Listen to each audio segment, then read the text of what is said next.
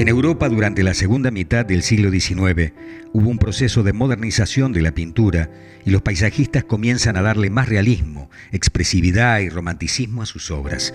Emilio Carafa se encontraba durante esta transformación estudiando en Galicia, más precisamente pasando un tiempo en Vigo. Allí hace una serie de paisajes con temas de playas. Fue precisamente allí donde él pinta esta obra que está expuesta en nuestro museo y es una de las que forma parte de mis preferidas.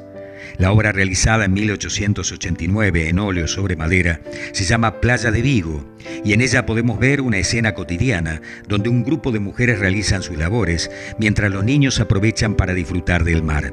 Tiene efectos de luz y movimiento en sus pinceladas que logran transportarnos a ese lugar en donde hasta podemos escuchar a veces el sonido del mar.